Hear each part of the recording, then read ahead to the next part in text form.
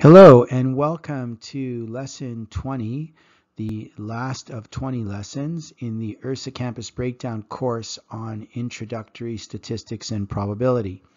This is Module 5, Additional Topics in Inferential Statistics, Part 2, Analysis of Variance, ANOVA, and Contingency Tables. Let's get started. In this final lesson of the course, we extend our scope of hypothesis testing methodology in two ways. First, we examine how it is possible to compare the means from three or more populations. Then, we look at how qualitative variables can be tested to determine whether or not they are related to each other. The topics covered in this lesson include the following.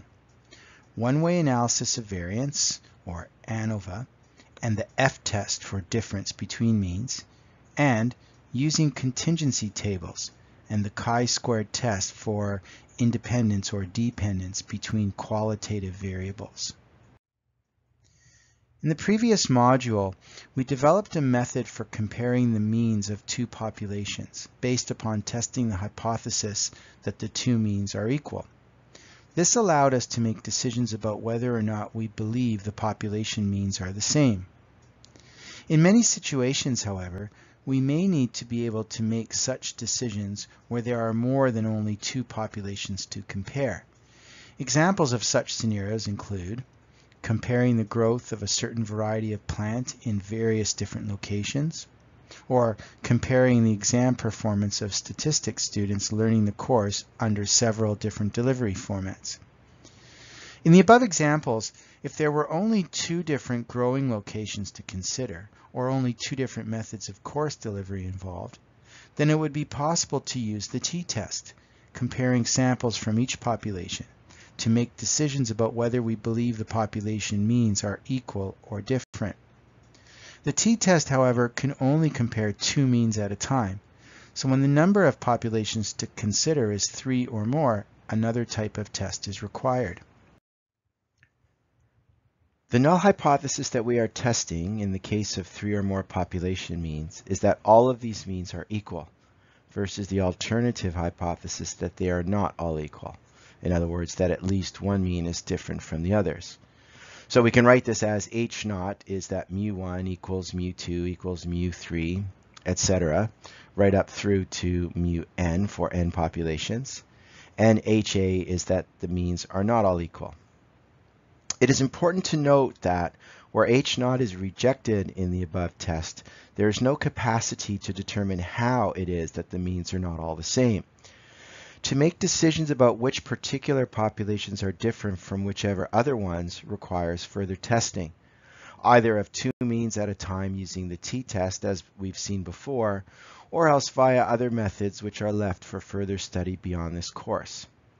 It's also worth pointing out here that the above null hypothesis could technically be tested via a series of individual t-tests as before, which encompasses all of the possible pairings of means from the total number of populations. One serious drawback, however, is that the number of such tests required becomes quite large as the number of populations increases. For example, three tests are required for three populations, six tests for four populations, 10 tests for five populations, and so on. This highlights the need for a simpler method for testing the above hypothesis. In this lesson, we are limiting our consideration to the case where the differences between populations are based upon variations along a single factor variable. For example, in the previous example about plant growth, each different population is defined by its location i.e. where each garden physically is. In the example about exam performance by statistics classes, the distinguishing variable is the specific method of delivery. In other words, we are interested here in seeing if differences in the value of this single factor, for example, growing location or method of course delivery, have any impact upon the dependent variable, which in this case would be plant growth or exam scores. The null hypothesis assumes that there is no difference across all values of the single factor, while the alternative hypothesis implies that at least one variation in that single factor results in a different outcome for the dependent variable. It's possible to consider more than one factor at a time. For example, we could look at plant growth in populations where both location as well as plant spacing are varied, or we could look at statistics exam performance across not only different delivery methods, but also across different exam formats, for example, open-ended or multiple choice, etc. Such multi-factor analyses are logical and methodological extensions of the one-way ANOVA method considered here, and are left for further study beyond this course.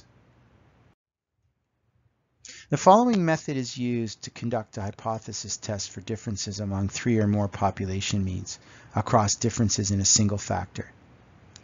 The test proceeds under the following assumptions. First of all, in the populations under consideration, it's assumed that values of the dependent variable of interest tend to follow a normal distribution. Also, it's assumed that across these populations, the variances in values of the dependent variable of interest are all equal, which is natural to assume if, according to the null hypothesis, all of the population means are equal. And we also assume that the samples taken from each population are all independent of each other.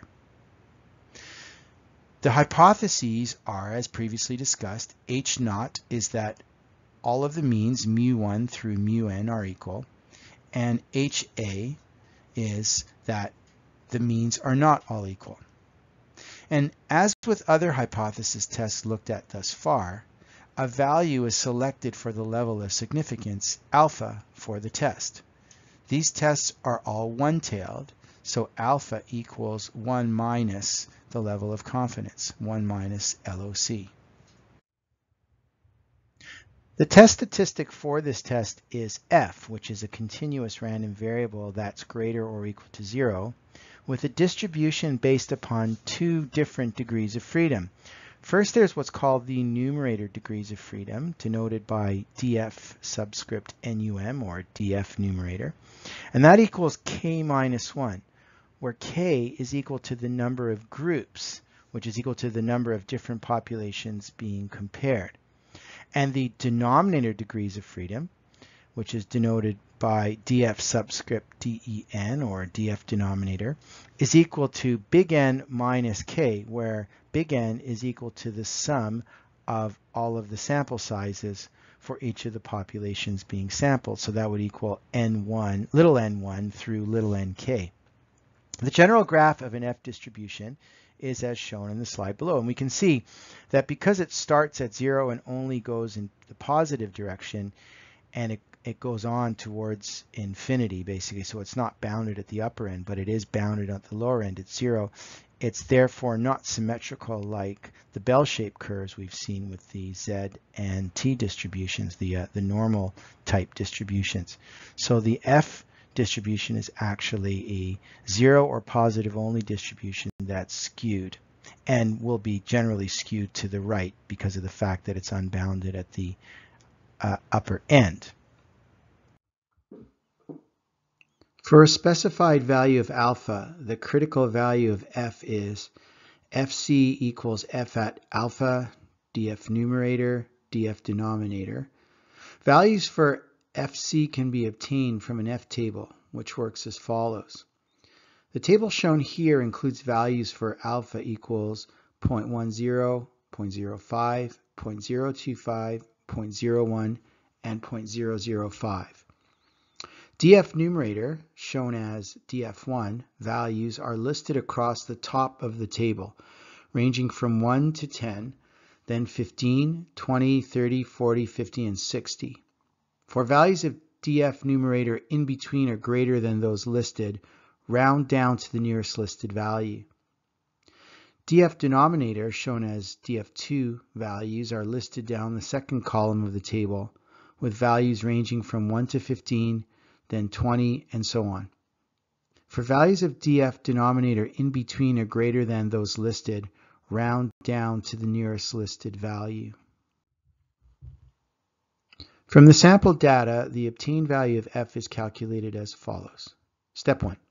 For each group sample, calculate the mean x bar i, and variance s squared i. Step 2. Calculate the grand mean, big X bar, which equals the sum of all x over big N. This is the average for all individuals across all groups. Step 3. Calculate the mean squared variation between groups, ms between, which equals the sum of squares, or ss between, over df numerator, which equals the sum across all groups of the product of the group size ni times the square of the difference between the group mean and the grand mean, which is x bar i minus big X bar. And that's all over k minus 1. Step 4, calculate the mean squared variation within groups, ms within, which equals ss within over df denominator. This is equal to the sum for all groups of the product of the group size minus 1, so ni minus 1 times s squared i, all over the sum of all groups ni minus 1, which is also equal to the sum of the product of ni minus 1 times s squared i over big N minus k. Step 5. Finally, calculate the obtained value of f. f obtained is equal to ms between divided by ms within. Step 6. If f obtained is greater than fc, then reject h naught, i.e. there is significant evidence that not all population means are equal. And if f obtained is less than or equal to fc, then do not reject h naught, i.e. there is insufficient evidence to suggest that all population means are not equal. And this decision rule is illustrated in the uh, diagram on the slide. Step, finally, step seven.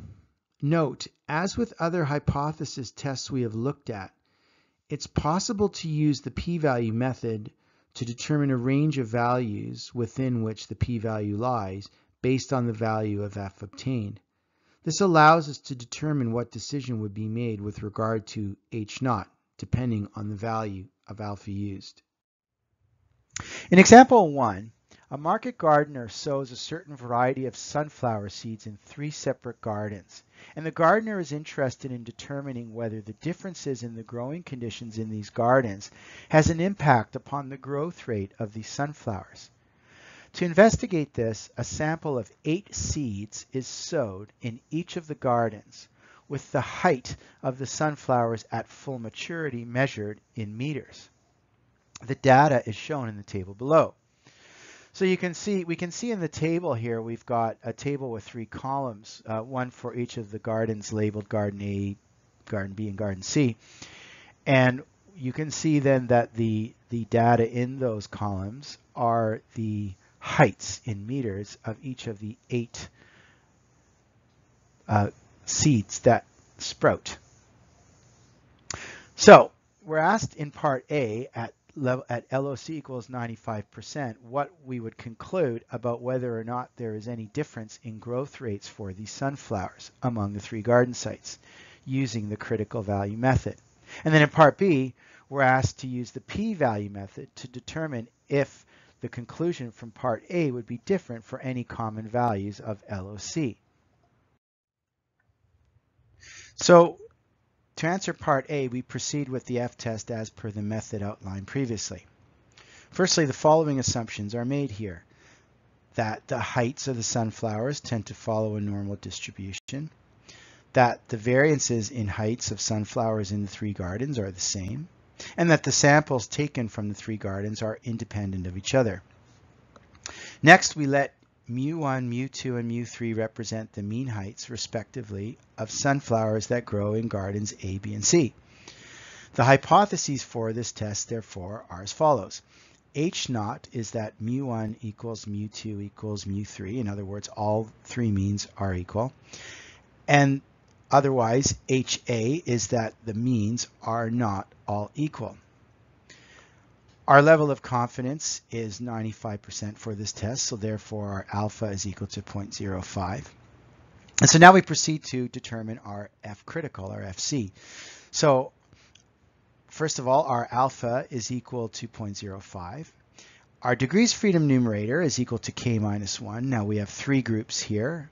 So we, uh, we have 3 minus 1 equals 2 as our df numerator. And then our df denominator equals big N minus k, which equals 3 times 8, because there's 8 in each group, minus 3, equals 24 minus 3, which equals 21.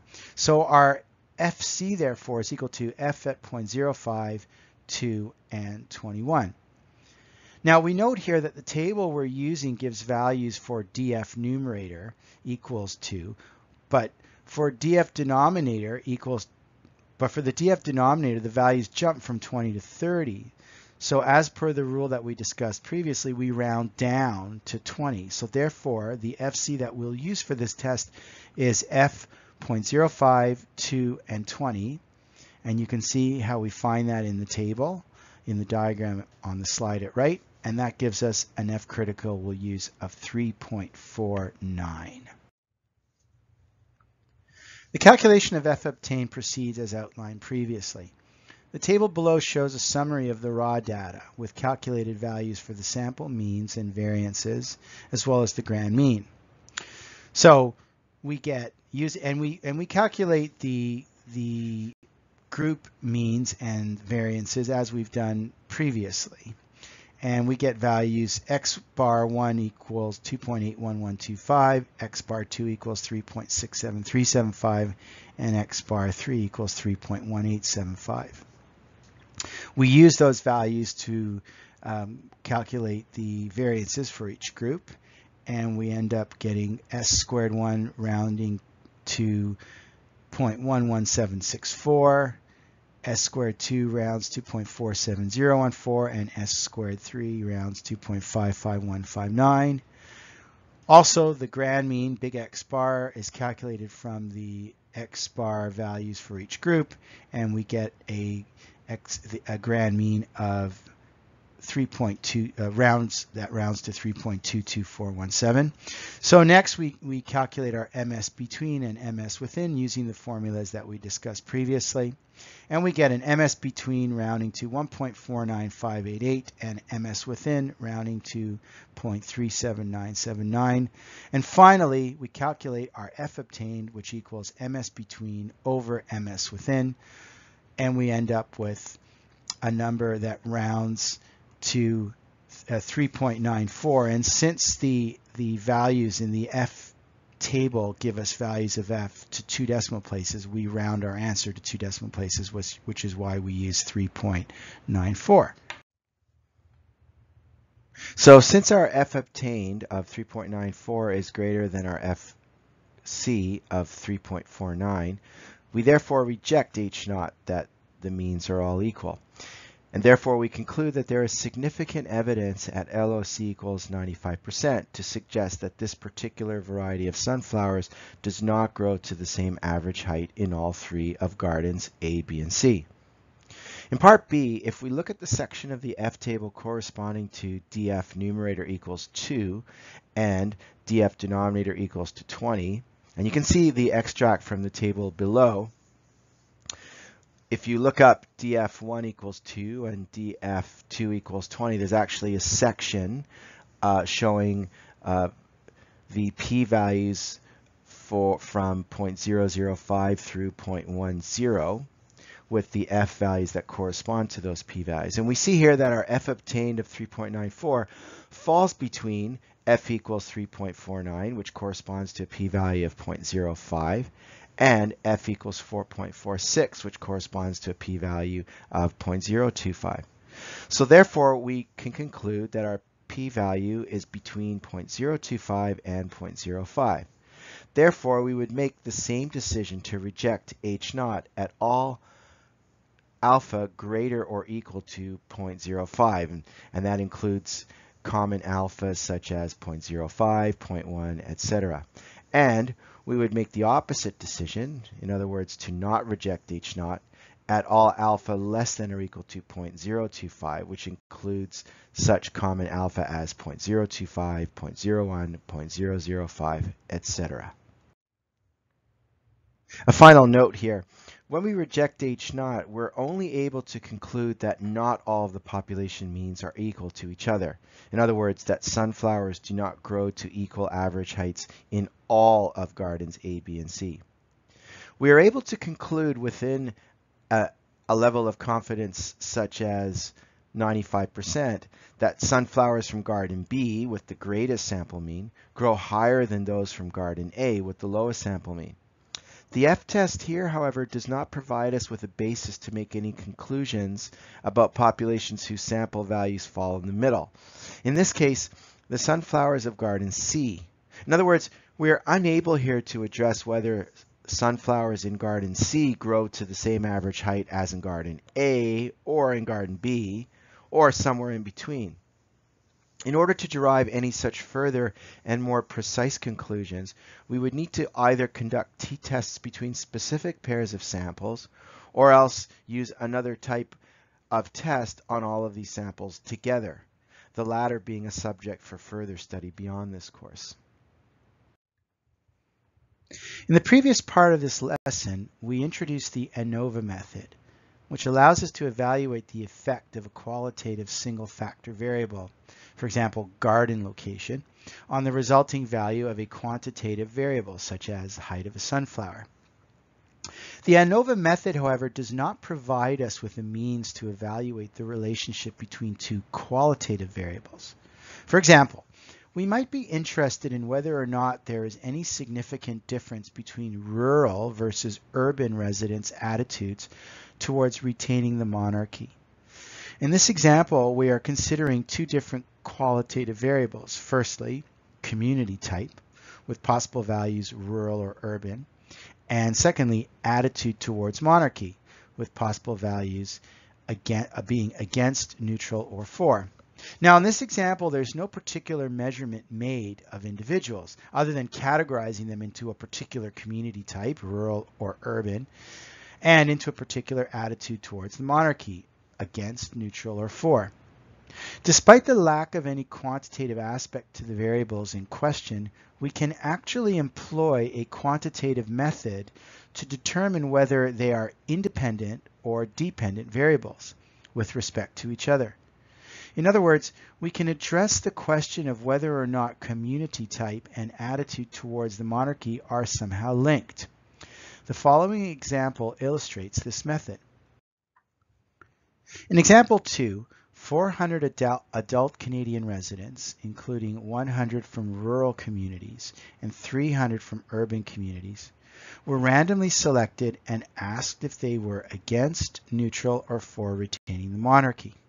The results are shown in the table below on the slide. In part A, we're asked to perform a test at LOC equals 95% that determines if Canadian residents' attitudes towards retaining the monarchy and whether they are from rural versus urban communities are independent of or dependent upon each other. And in part B, we're asked to use the p-value method to determine if there are any common values of LOC for which the decision in part A would be reversed. So to address the question of whether community type and attitude towards the monarchy are independent or dependent, we start by looking at the given data table which shows how the individuals sampled fell into the various categories of both community type and attitudes towards the monarchy. Such a table is called a contingency table. In the contingency table here, we can see that there are two categories of community type, rural and urban, and three categories of attitude towards the monarchy, against, neutral, and for. There are therefore 2 times 3 equals 6 cells in the table one for each possible simultaneous combination of community type and attitude towards the monarchy. In general, we can say that for a contingency table with two variables, where one variable has m categories in rows and the other variable has n categories in columns, the total number of cells equals m times n. The numbers in each of these cells are called the observed values for each combination of possible values for the two variables. An observed value in the ith row and jth column is denoted by O subscript ij, or simply OIJ. For example, of the 400 people surveyed, there were 58 rural residents who said that they were against retaining the monarchy. And this is re represented by O11 or O1 comma 1, which equals 58.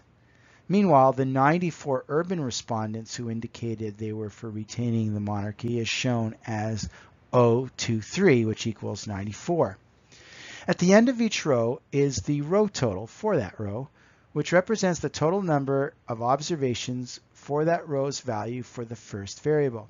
Similarly, at the bottom of each column is the column total for that column, which is the total number of observations for that column's value for the second variable. The row totals and the column totals should both add up to the grand total, which is the total number of all observations and is located in the very bottom right corner of the table. In a test for independence or dependence between two variables, we are trying to determine whether the relative distribution of values across one variable is about the same across the values of the other variable, in which case they would be independent, or significantly different, in which case they would be dependent. In other words, for this example, we want to see if the breakdown of attitudes about the monarchy is more or less the same for rural versus urban respondents, or if there is in fact a significant difference in this breakdown between the two types of communities. To make this determination, we make the initial assumption that the two variables are independent, and then we calculate the values for each cell that we would expect if this was really the case. For example, we know that of the 400 total people surveyed, 100 of them are from rural communities. This represents a proportion of rural respondents equal to 100 over 400, which works out to be 1 over 4 or 0.25. And similarly, the proportion of urban respondents equals 300 over 400, which equals 3 over 4 or 0.75. We also know that out of the total of 400 people surveyed, there are a total of 193 respondents who indicated they were against retaining the monarchy. Therefore, if community type and attitude towards the monarchy were indeed independent of each other, the breakdown of these 193 people along the rural versus urban categories should be based solely on the relative proportions of these categories as calculated above. In other words, we would expect the following breakdown in the against column.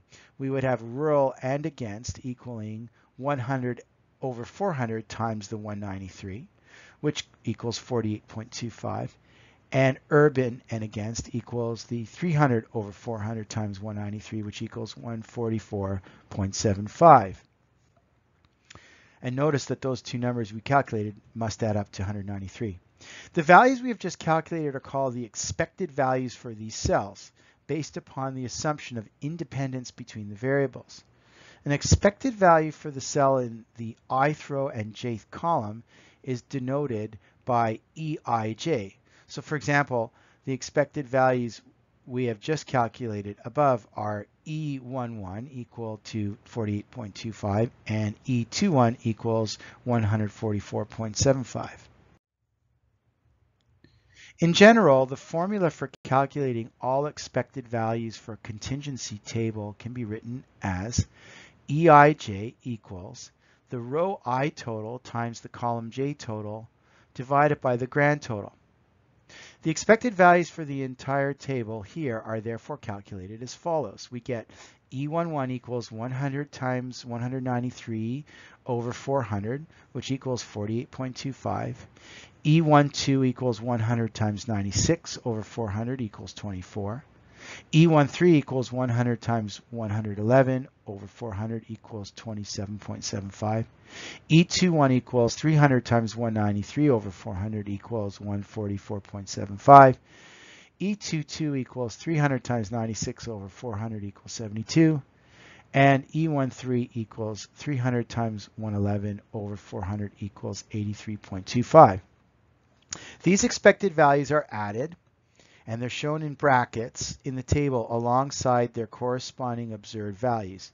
to make up the what's called the augmented contingency table, which is shown in the slide below. So you can see that next to the raw data values in the cells, we've got in brackets the expected values written into the table. And notice that the totals of the expected values have to add up to the row and, row and column totals respectively, just like the observed values, which are the raw data. If we look at the augmented contingency table above in the slide, we can see that there are differences between the observed and expected values in each cell. Now, while it is possible to get observed values that are equal to expected values, at least for one or several cells, in reality, this is usually not the case, even if the two variables in question are indeed independent of each other. And this is due as we have previously seen throughout this course, to nothing more than random sampling error. However, if the two variables are truly independent, then we can expect that the differences between observed and expected values should be relatively small. Meanwhile, if the two variables are in fact dependent, we would expect that these differences would be relatively larger. To make some sort of a definitive determination of independence or dependence then, we can apply a statistical test to these differences along the lines of the other hypothesis tests we have conducted previously. The method we employ here is called the chi-squared test and it is outlined as follows. Firstly, the hypotheses here are h naught that the two variables are independent of each other and ha that the two variables are dependent upon each other. Now, as with other hypothesis tests looked at thus far, a value is selected for the level of significance, alpha, for the test. These tests are all one-tailed, so we use alpha equals 1 minus LOC. The test statistic we use for this test is what's called chi-squared. And it's a positive value only continuous random variable like f with a distribution based upon degrees of freedom defined as df equals m minus 1 times n minus 1, where m and n are the number of rows and columns respectively in the contingency table as discussed previously. Now the expression for degrees of freedom here relates to the fact that for a given set of totals for each of the rows and columns respectively, there are m minus 1 and n minus 1 of the cell values that are free to vary. The general graph of a chi-square distribution is similar in shape to that for the F distribution. And you can see a diagram here showing what that looks like. It's a distribution that starts, it's bounded on the lower end at zero and then is unbounded at the upper end. For a specified value of alpha, the critical value of chi-squared is chi-squared c equals chi-squared for alpha and df. Values for chi-squared c can be obtained from a chi-squared table, such as the one shown here, which works as follows. The columns are for values of alpha equal to from 0.995 down to 0.005. And for this particular test, we use the smaller half of these values, which correspond to LOC values in the range from 90% up to 99.5%. And DF values are listed from 1 onwards down the rows. From the sample data, the obtained value of chi-squared is calculated as follows. Chi-squared obtained equals to the sum over all cells of the square of OIJ minus EIJ divided by EIJ. If chi-squared obtained is greater than chi-squared c, then we reject H naught, i.e. there is significant evidence that the two variables are not independent. And if chi-squared obtained is less than or equal to chi-squared c, then we do not reject H naught, i.e. there is insufficient evidence to suggest that the two variables are not independent. In other words, suggesting that the variables are independent. Note, oh, and we see uh, on the slide here a diagram for this decision rule. Finally, note that the p-value method can be used alternatively as we have done with other such hypothesis tests. We now conduct the chi-squared test for this example. So, for part A, H naught is that attitude towards retaining the monarchy is independent of the type of community in which a person resides. HA is attitude towards retaining the monarchy is dependent upon the type of community in which a person resides. Our LOC here is 95%, so our alpha for one tail test equals 1 minus 0.95 equals 0.05. So our chi-squared chi-squared critical, we look up in the table, is equal to the chi-squared for 0.05 Alpha equals 0.05 and our degrees of freedom is calculated from our numbers of rows and columns. So our DF equals 2 rows minus 1 times 3 columns minus 1 gives us 1 times 2 equals 2. So we're looking for chi-squared uh, uh, at 0.05 and 2, which you can see in the extract on the slide below, is equal to 5.991. So then we go ahead and use the data in our augmented contingency table and calculate chi-squared obtained, which we can see in the slide here works out to be 8.235 and we round to three decimal places because the chi-squared C values in the table are also rounded to three decimal places. So now we can see that our chi-squared obtained of 8.235 is greater here than our chi-squared C of 5.991. So therefore we reject H naught. And therefore we conclude that there is significant evidence at LOC equals 95% to suggest that a person's attitude towards retaining the monarchy is dependent upon the type of community in which they reside. In part B, if we look at the section of the chi-squared table corresponding to df equals 2, so we look into the df equals 2 row, and we can see that chi-squared obtained equals 8.235 falls between values of 7.378, which corresponds to a p-value equal to 0.025, and 9.210, which corresponds to a p-value of 0.01. So therefore, our p-value is between 0.01 and 0.025. So therefore, we would make the same decision to reject H naught at all common alpha greater or equal to 0.025, such as alpha equal to 0.025, 0.05, 0.1, etc. And we would make the opposite decision, i.e. to not reject H naught at all common alpha less than or equal to 0.01, such as alpha equal to 0.01, 0.005, etc. I hope that you found this video helpful. If you liked it and would like to see more from Ursa Campus, then please subscribe. And also, if you'd like to send your feedback, that's always welcome too. Thanks for watching, and I wish you well with your studies.